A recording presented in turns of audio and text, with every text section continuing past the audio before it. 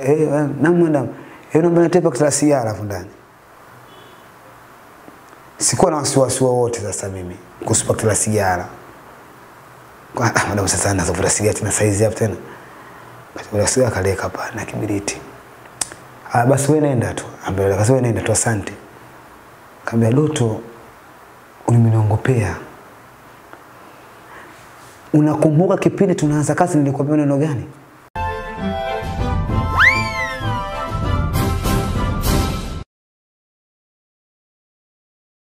Kaambia nakumbuka. Nakumbuka lipi na lipi? Uliniambia kwamba na mke na hiyo mimi ndio ni mke naye. Ukaniuliza unavuta sigara? Nikamwambia mimi sigara sivuti. Nikakuuliza, ukaniuliza unakunywa pombe? Nikamwambia pombe mimi sinywi. Hivi ninavyokumbuka ambavyo ni vya msingi kwangu. Kama ni kweli ni vitu vya msingi kwako, lakini imekuwa sio msingi tena kwako, imekuwa ni hasara. Doto, sigara unavuta? Nikaona mimi navuta sigara. Sasa najiaminisha sasa, kumbe mwenzangu yote anayajua. Kabla kabla unavuta sigara, lini unavuta sigara? Au ushaanza kusikiza maneno ya watu? Unaona? Sasa naanza kujishuku mwenyewe sasa mimi mwenyewe. Anza kusikiza na watu. Kaambia hapana. Mimi nachokisema sibahatishi na uhakika nacho. Unaona mimi? Mimi sigara sivuti. Hata siku moja. Japokuwa wewe unajua mimi navuta sigara, lakini sigara sivuti. Wewe unajua mimi navuta sigara, lakini sigara sivuti. Lakini wewe unajua mimi najua wavuti sigara, lakini najua sigara unavuta. Wala mkono sema kama unavuta navuta sigara, kabla sikiliza. Nielewe vizuri. Umeona ni umeona pakta sigara? Hii pakta ya sigara inakaa sigara 20 kila pakti moja. Kwa nini pakiti ya sigara ukivuta sigara moja inabaki sigara ngapi? Kama zibaki sigara 19. Sasa zile hesabu hizi kama zipo 19 basi mimi mwongo na kusingizia wewe. Ila kama ziko 18 basi wewe unavuta sigara. Mhm. Mm Kama ah pa pa tukahesabu ile sigara. Akaambia mimi mna sigara moja tukatekeza sigara. Sigara hii ulivuta. aka akanambia yeye mimi nimevuta sigara moja tu tangu siku ile na gari na ndio siku ile nakwambiaje naomba nitoke na gari yako Mm. kweli yako nitoka nayo lakini sigara nilitoka nilitoka nayo nikahesabu zile sigara ambazo zilikuwa mle ndani Mm. nakuta ziko pungufu kana kwamba hakuna mtu yoyote ambaye anaweza sigara na igari wewe ndo unatembea nayo hakuna mtu yoyote akuvuta sigara zaidi yako wewe. Yani wewe sigara hii umevuta na wewe sigara unavuta sana. Mm. wewe ni sigara mzuri tu.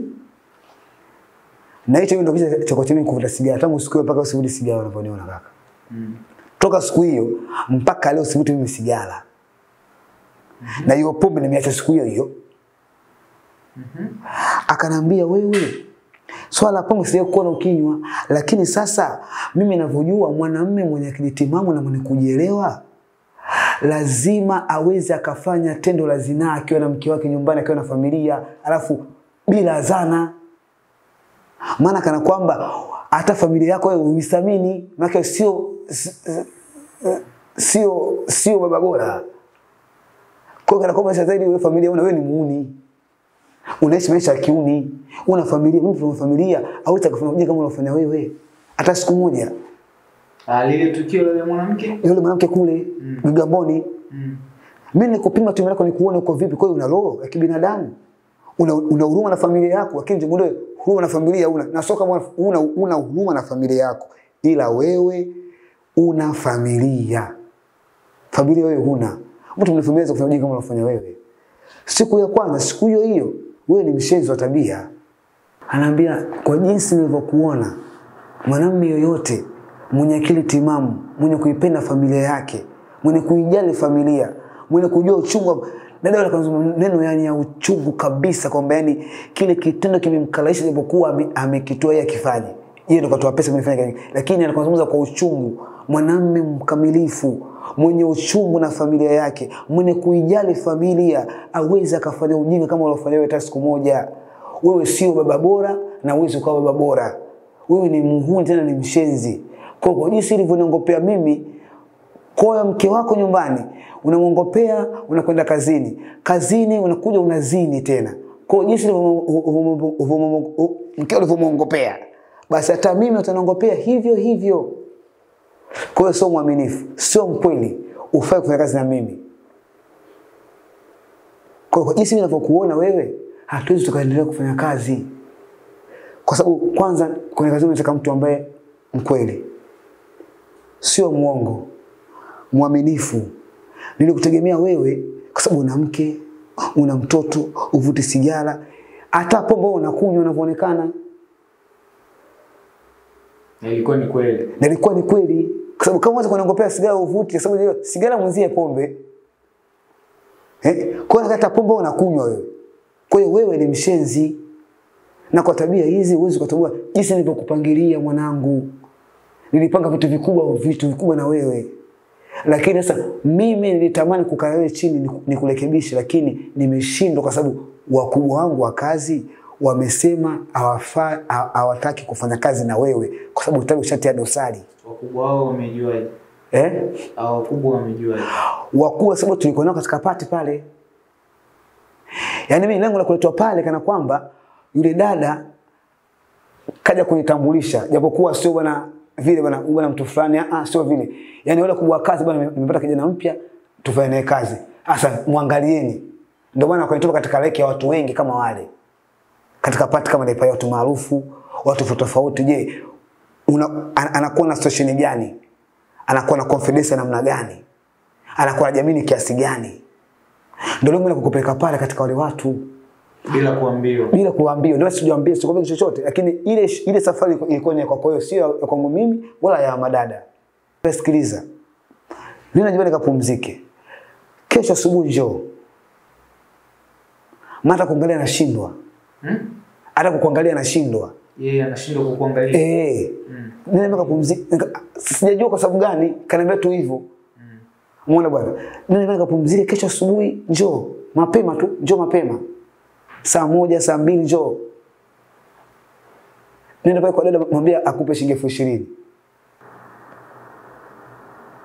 Yeye kamwacha pale pale.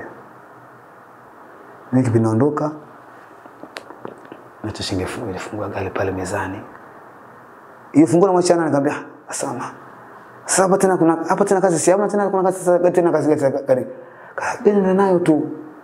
Au funguo ulijua kazi ya mnoka yake. Eh, nikaacha funguo ya gari sababu nenda nayo. tu kwa sababu ushaambiwa umeshafeli. Sasa maki kwa mtu umeshafeli kana kwamba kuna maana gani hapo?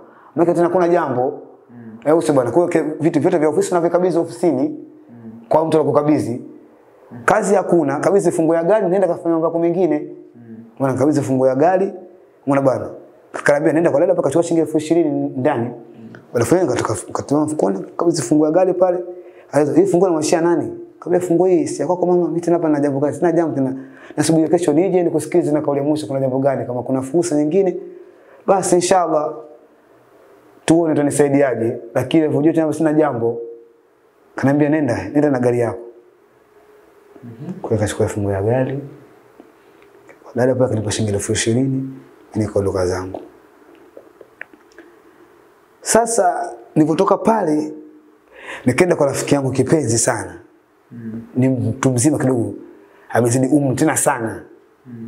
Umeona? Mm. Nikampigia simu tukakutana kwenye grocery moja hivi. Sasa nishavurugwa sasa. Mwana bwana? Sasa bwana lete bia tunywe. Sababu sina sina ni sina cha kupoteza. Nishaku yani tayari. Bwana kaniza pale bia, tukakaa kwenye grocery tukaanza kunywa bia. Ndio mwanangu. Kabisa naweza kumweleza situation namna ilivyo. Mwanzo wa story yangu mpaka mwisho bwana nilikutana na dada moja. Unafeli wapi bwana unatamaza kitoto wewe? Wewe mbona unabadiliki bwana ukusa jamaa sasa wala nimemwadisia sasa akaanza kunipa mimi lawama sasa. yani nimefeli. Wewe umetoa boko. Eh, utulivu kwenye kazi mlango ndio unatakiwa. Sasa ungeenda unge, unge mbele, na sisi ungetotoa ndugu zako huko nyuma. Kama kaka, usiseme hivyo. Mwe bwana? Kwanza haya vipi na, na, na wewe bosi wako? Nikamwambia kanipa kaniambia niende tu nyumbani. Ila kesho asubuhi kwenye kwenye bai saa moja au saa mbili niende pale kwake. Da, mdogo wangu, au tuende kwa, mtaalamu tuka- tukamloge nini aelewe, unajua ile eh, kaambia ah, unanishauri vipi? Kaambia twende kwa babu yangu, tuko mimi kuna na mtaalamu mwana bwana? Yuko ipo Kagera hapo. Magomeni hapo. Mbaya kweli shehe wangu huyo. Labda kesho kwenda ile kipaka paka paka vida da nini kidogo vile vinaweza vika vika vika vikambadilisha roho yule. Kwa ah, inawezekana kweli? Inawezekana. Kwa hiyo tukachukua boda pale mpaka Magomeni. Kwa hiyo shehe. Kufika kwa shehe tukamweleza. Shehe kanambia "Ah, labda sijui lakini chukua vidogo kavipake pake labda kwenda kupata nuru kidogo umeona bwana kweli kanipa vile vile vidada vile wanaweza hicho asubuhi kiamka unaoga maji kwa kawaida kusoga maji ya kawaida maji mengine una- una- unaweka katika ndoo nyingine unachanganya na hiyo dawa unaoga unasema shida yako yote unayotaka mm. unanuia kila kitu chako Nikaambia sasa una shida. Kweli mimi asubuhi nilipoamka nikaoga maji yangu ya kawaida, nikachukua ile dawa nikachanganya nikaoga. Mwana bwana, dawa nyingine kama vile kama vile imeandikwa Qur'ani hivi katika kupala maji uhai. Mwana hiyo nikawa napaka na kunywa. Huko na, na, na kunywa kuna napaka na kunywa kuna napaka huko nazungumza maneno yangu. Najua tena ile eh basi nikajivuta vuta mzee nikawasha gari. Asubuhi yake. Asubuhi yake. Baada ya kufanya baada kupezia kupewa zile dawa na ule mganga sasa kuzifanya. Mm. ile mtaalamu alionipa zile dawa. Umeona bwana? Nikamwambia da dadangu yacha bwana kunitafuta bwana, kunipata mambo amenifika hapa mzio tamaa imenijaa mwisho wa siku imetoa boko. Mm. kanaambia da eh doto ungejua wewe. Bosi amekupigia mahesabu. Kila kikaa anakuambia ah anaambia doto ni kijana mmoja safi sana na nitamsaidia yule mpaka yani kipindi kama nitamtoa hapo kwa kula naye nje basi familia yake nitaacha katika mazingira mazuri hawatopata shida wala nini. Mwana bwana? Mm. lakini ashangaa eti leo hii doto tena umekuwa ah Ah, sijui lakini kama Mungu atakujalia utafanikiwa kweli. Kaambia ndio niko hapa nasubiria dada yangu bwana. Basi ah, njoo ndani kwenye chai. Mimi kapa chai yenyewe sina kunywa basi hata inapita chai yenyewe. Mm. Kuna chai kavu hivyo hivyo tu. Kwa sababu ndo maziwa cha maziwa sio nikapiga hivyo kavu tu. Mm. Kapiga chai yangu pale. Mbona mtakwambia nguvu yangu sina tangu vya kula. Yaani hapa tumesubiri tu ubi mkubwa uko juu ashuke aje hapa nizungumze naye nijue ananisaidia vipi. Basi mdau ameshuka kule juu. Habari yako? Kama salama. Mambo vipi? Safi za nyumbani? Safi kwema kwema. Vipi? Kama "Ah, safi mama. Sababu mwenyewe kwa shida yetu kisela. Yaani ni mama mjini, unajua mama mjini we ile shikamoo kisodili. Mm. Umeona? Ah. Nakomba basi kumeza kwenye chai utanikuta nje hapa nakusubiri. Kwa kwa nje pale. Kakaa pale kaona gari kapaa shiga tuende hivi. Mpaka hotelini kule madada kule. Mm. Kuna ile hoteli ya ule madada wale. Tukafika pale kule madada. kapaki gari pale.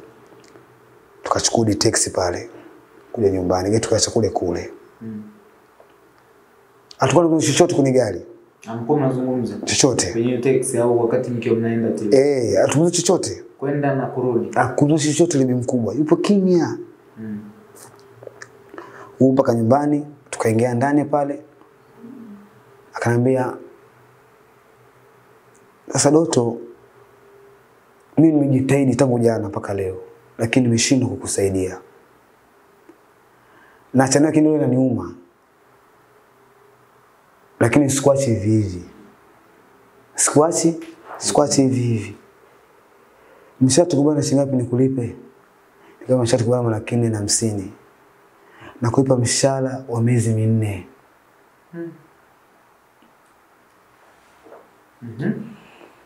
Na pia kama utojali, basi nikutafutie kiwanja, Mm. nikununulie kiwanja. Uko tayari? Kama niko tayari, basi tafuta kiwanja sehemu nzuri unaona kufaa, nikununulie kiwanja hapo. Mm. Hiyo imetoka sadaka yangu kwako. Sina sadaka nyingine zaidi ya hiyo. Mshahara wako uko vile vile wa, miezi minne. Tena tunavyozungumza tukitoka hapo tuelekee benki. CRDB. Nakutolea hela. Nikukabidhi hela kwa sasa hivi. Mm. Milioni moja na laki nane. Moja na laki nane. Kama na shida kwe ni gari akampiga simu rafiki yake mmoja hivi anakaa Mbezi huku ya Kimara. Akampiga simu akamweleza, sawa, vipo viwanja, basi twende, basi Doto, basi twende tuangalie kiwanja. Alipiga simu, kuna kiwanja mimi gari sasa hapa na kiwanja kiko Mbezi. Tukaenda paka pale Mbezi stendi ya basi pale Mbezi kwa eh, nsoze, tuishe Mbezi kwa Msuguli. Jamaa tukamchukulia pale tukaenda Mbezi kwa Mbezi kwa Msumi. Kulikuwa kuna kiwanja huko. Mimi mimi ndio naendelesha. Mama kaka kushoto na jamaa. tufanye eneo ile kile kiwanja tukakitazama, akanuza baada umeridhia hapa. nika mimi mama ah, unajua kuna wakati mwingine lazima ukubali tu hata kama hujaanzia lakini mimi tu ukubali kwa sababu ukiangalia mazingira jinsi namna alivyokuwa mwana bwana. Kaambia ah, nimekubali shigapi kinauzwa kiwanja. Kiwanja ki- nimenunua kile kiwanja liko kinauzwa milioni tatu na laki nne. Basi baada ya kulipa pale kilivyolipo kile kiwanja tukaenda saa za mitaa tukaandikishiana kila kitu na ule mwenyewe muhusika na mashahidi pia walikuwepo ambaye muuzaji wa kile kiwanja. Umeona? Mm. Kwa tukalipana pale bi mkubwa kile kitu akaclear. Kuhusu swala sio swala la dalali aliwapa hela yao na ule sika za mitaa kuizinisha kila kitu sasa ile mwenye kile sika za mitaa akawalipa. Kwa hiyo kapasi na deni aina yoyote. Umeona bwana? Nikakabidhiwa tu hati yangu ya nyu ya kiwanja. Na hii ndio hati yako kiwanja. Jina lako ndo hili hapa. Tubadilishe kutoka fulani kuja jina lako. Mm. Umeelewa? Nimeelewa. Kile kitu kiko sawa, kiko sawa. Kuna baba yetu ambaye umetokea hapa, mama sana niuliza, kaambia hapa kuna baba yetu wote, kitu kiko sawa. Basi sawa, hamna shida. Mimi huu lakini kimwemwe nilikuwa sika kanipiga changala macho mimi ausho hii. Mm. kunipoza kumbe yani nikana nikawa na simamini nikana sasa kama nikaona kama bibi mkubwa kama ananizingua. Mm. Umeona bwana? Basi tukarudi zetu nyumbani, baada ya kurudi nyumbani, bibi mkubwa anaingia ndani, anikabidhi milioni moja na laki nane Milioni moja na laki nane. ambao ndio mshahara wangu wa miezi minne. Sasa mna shida, mimi na unibashi yangu na mzigo wangu nikausunda katika mfuko wangu wa jinzi ka na karatasi zangu za hati zile niko niko nazo. Sasa hizi nampelekea baba yangu mzazi kwenda kumhakishia, na kesho asubuhi tu kikucha, mimi na mzee mguu kwa mosi mguu pili mpaka kwenye Kiwanja. mpaka kwenye kiwanja. Natoka zangu sana fia getini, natoka tu nje ya geti lile, na- narudisha mlango wa geti. Yule dada kazi ananiita, Doto. Na yuko hivi namwona ni ah, vipi? Ah, safi. Madamu anakuulizia pale unajua. Asema, ah, okay, sawa vipi? Mmemezana vipi na bosi wako? Kaambia basi tumemwezana bwana, amefika mwafaka mzuri, ila akasema atanipigia simu kuniambia nini cha kufanya. Kaniambia da, mwana bwana, kwa umeogopa kwamba sio kwa je, unaloa kijasiri kuweza kujizuia kwa mwanamke mzuri katika katika kazi? Sababu kana wewe roho una, una ya ndogo, mtu wa tamaa, ndio maana amekupiga ex. Mhm. Mm Basi hapa cha msingi tu kwamba Mungu akujalie kwa sababu madam bado anataka kufanya kazi na wewe, amekupenda sana. Yaani una bahati, yani wewe una bahati kwa sababu nyota yako na kwake zimeendana. Kwa hiyo usimuone rafiki yangu. Kaniambia basi ndio hivyo, wewe omba Mungu tumshikaji wangu. Usijali lakini. Kwa da. Ni huu mpaka nyumbani. Fika nyumbani, moja moja nikatoka kwa mzee kwanza kwa baba mzazi. Nikamkabidhi bwana mzee, bwana mimi nimenunua kiwanja. Umenunua kiwanja? Wapi? Kaambia Mbezi kwa Msumi. Hiyo hela kuna kiwanja umetoa wapi? Kama sikuwa nafanya kazi mzee, ulikuwa nini nilikuwa nafanya kazi bwana? Mwana kuniambia hiyo kazi ufanya miezi mingapi mpaka upate huo mshahara wa kununua hicho kiwanja? Kaambia mzee, ni story ndefu sana. Nikaanza kukupa. Hebu niambie imekuwaje? Kabisa naweza kumaanisha mzee, situation nzima. Wazee wa mjini miausho. Mzee anaanza kutoa lawama baada ya kusikitika. Wewe kimekukuta nini wewe? Wewe una matatizo gani wewe? Mbona ah, sasa kuna mzee bwana na- mbona mzee kama mshikaji wangu ni. Yaani msh- mshinda kujizuia kabisa kama mtoto wa kiume kweli? Eh? Ah, ndio kwa maisha, yani hapo ndio ndio unatoka. Mungu akupe nini sasa mwanangu? Mungu akupe nini mwanangu? Mzee analalamika kupoteza ile nafasi. Eh? Kwa da. Kisi mzee alikuwa ananung'unika, alikuwa da, niko nimepoteza kweli. Unajua kama mzee sasa, ai bwana eh. Sasa unajua unapovurugwa, basi muda ule ulitoka kwa mzee tu pale. Ati ila ila sikwambia kama mfukoni na hela. Sikwambia mzee. Nikampigia simu ule dada. Simu inaita ipokelewi. Mwana bwana. Napiga simu. Mwana bwana. Anapokea vipi leo tunasema Kuna tatizo? Kama unakuomba nisamee mama. Nalia mchozi akanalia mchozi au nisamee mama nakuomba. Kanambia Doto, ah, Hebu relax bwana. Nimekwambia nitakupigia simu. Mbona una wasiwasi? Usizidi kunivuruga. Hebu niache kidogo bwana. Ah. nakuomba nisamee. Nimekwambia naomba niache relax. Akata simu. Akakata au ndo akakata? Akakata simu yeye. Mm. Nikatoka zangu hapo. Nikaweka mzee mfukoni, nikatoka kama na laki tatu hivi mfukoni. Kaenda baa, night club. Kanywa sana mitungi. kunywa sana pombe. Mpaka asubuhi. Nimelewa chakali. Sielewi kaka, nimevugwa Siku ya pili kumekucha ile, kawa kimya. Siku ya tatu ile anipigia simu, anavina nanasibu, lakini nafsi nifanya pa. Nikasema alhamdulillah, Mungu kaniona huyu sasa. Ah, ujinga kama tutafanya tena. Simu sijapokea hapo. Nashukuru Mungu. Nashukuru Mungu alhamdulillah ya Rabbi. Da. Sasa Mungu ashaniona hapa. Mpaka nasema hii simu ya hela. Mimi hapa naudi kazini. Halo, mambo vipi? Sasa mshwari, shwa mzima, mzima. Uko wapi? Ba, mimi niko nyumbani. Ah, basi njoo tukutane supermarket hapa. Supermarket hapa wapi? Kaambia mimi hapa Mikocheni. Nikafunga safari mpaka Mikocheni. Kufika Mikocheni, nikampigia simu. Baada ya kumpigia simu, akaniambia ushafika, ishafika. Basi nakuja kama dakika tano. Kwa hiyo akatoka aka- akapita akatoka akatoka kule ndani alipokuwa kwenye supermarket ile nje huko akaja akanipigia simu tuka- tuka- tukatafuta simu pale supermarket kule sema kupumzia kwenye kwenye juice nini Mm. eh tukakaa pale eh vipi mambo za siku mbili tatu kaambia namshukuru Mwenyezi Mungu salama sijui wewe kana mimi pia namshukuru Mwenyezi Mungu sijambo eh niambie kuna habari gani? Kaambia mimi hakuna habari yote nakusikiza wewe bosi wangu bwana. Sina habari yote ambayo naweza nikazungumza kwako kwa sababu kila kitu kiko chini yako wewe. Wewe ndio mwenye maamuzi. Kaniambia ni kweli ila umenikorofisha sana. Kimi na juzi nizungumza nini na dadangu wa kazi? Kaambia ah. Ah, nilizungumza naye tu vitu vya kawaida tu. Ah, kuwa mwazi, usizidi kuharibu. Mm. Ulizungumza naye nini? Nilizungumza naye kuhusu swala nilimuonesha ile hati ya, ya nyumba ambayo mnichukulia ile kiwanja ambacho mnichukulia. Sasa naongea ile kwa aibu. Mm. Niuze ile ile bwana hata kiwanja ambacho mnichukulia bwana kule bwana. Eh bwana kule Mbezi kule. Sasa inamhusu nini? Mambo yako wewe yanamhusu nini? Eh? Mbona mbona wewe una, una bado bado yaani bado yaani bado hujabadilika. Sasa basi mimi chakutapa ni kitu kimoja tu. Au yetu kwa sababu mambo tu yazungumza kule mimi na wewe mambo ya kiwanja. Ili imekupa kama vile zawadi tu kama vile kukupenda ili baadaye usije kunikumbuka. Wewe mwambie haya musi yule. Unajua kwa kwa kama yule ni mwema wako. Kama ndo mbaya kwako yule. Kwa hiyo tungeweza kutumia akili full stop. Tumeachana hapo. Na ule dada.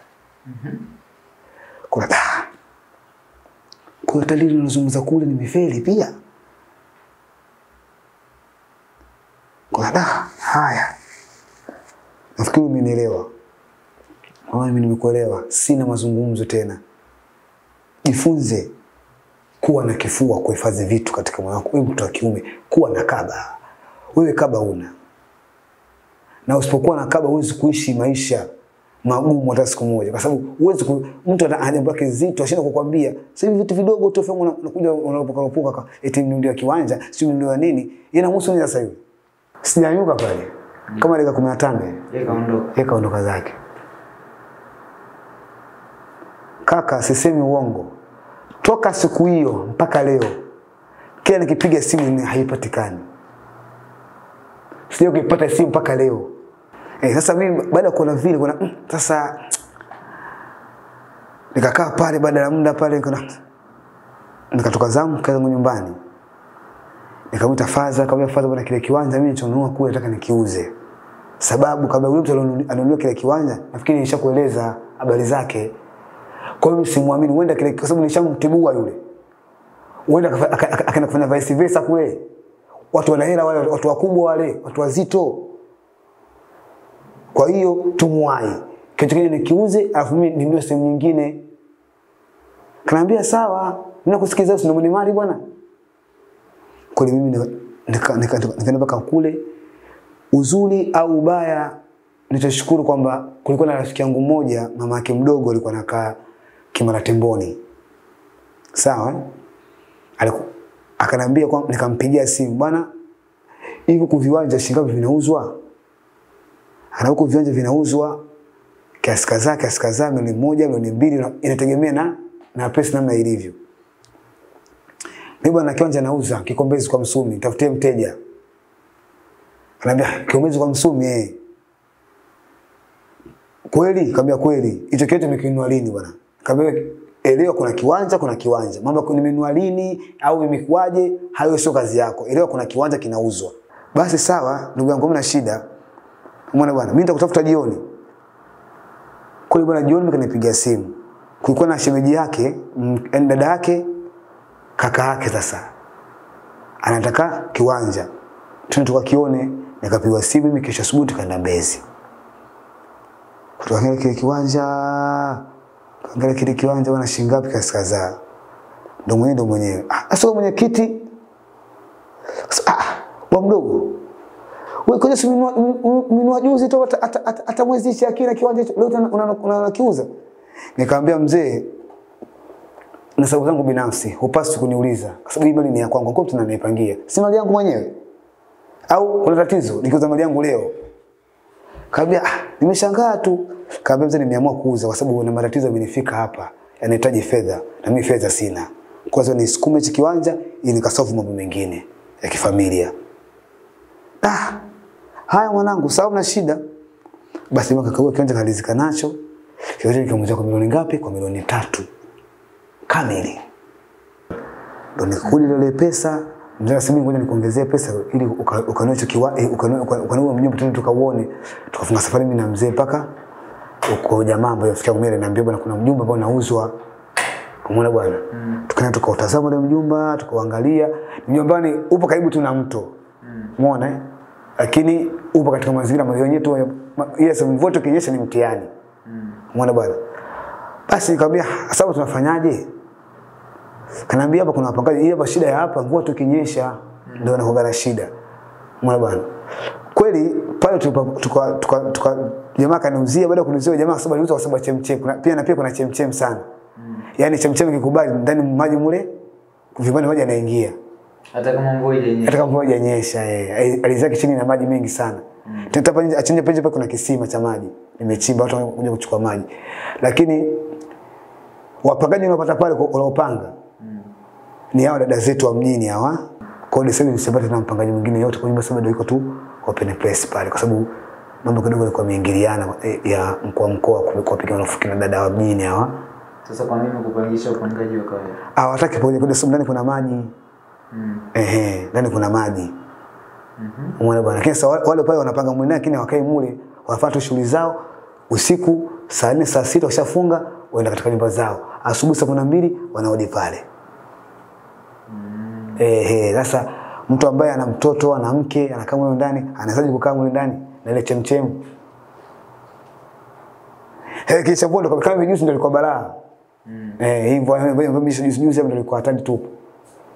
Kwa hiyo baada ya kumezana na ule sister pale, baada ya kumezana na ule, na ule jamaa pale, kaikabidhi ile nyumba, nikaanza kwa nyumbani, ndo nikasanisha maisha kwa ile Ndo tangu siku nipige simu ile dada yangu, hebu kasimu sipati mpaka leo. ya tunachoshukuru kwamba nimepata chote kitu ambacho naweza kaka nikamkumbuka. Eh, kwa hiyo hayo ndio baadhi ya maisha ambayo visanga vidogo vidogo ambavyo nimevipitia. Nikurudishe nyuma kabisa, mwanzo wa stori yako, Yeah. kuanzia hapa kwa Kurwa Ndio, ambaye alikuwa na hayo matukio unayodai ya uporaji ndio, kwa kutumia silaha, ukabaji na ujambazi tuseme, mm. ambaye siku ya kwanza wewe kugundua ulikuwa ulikuwa unafahamu ni mtu wa aina hiyo, Yeah, ndio. lakini tukio likakukuta Mm. yeye akakuokoa. Ndio, Alikuwa miongoni mwa wale ambao walitaka wakujeruhi, ndio, Wachukuliwa ukakamatwa na askari baada ya kuambiwa umpeleke hiyo sehemu ambayo uli, ulikataa ulitaka kuendesha wewe, akaendesha mtu mwingine ndio. ukakamatwa.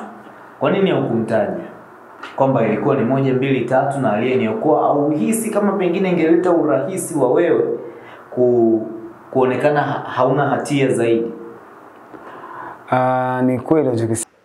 kukumbushe tu, kila sekunde moja ina thamani kubwa zaidi katika maisha. Hakuna muda wa kuupoteza.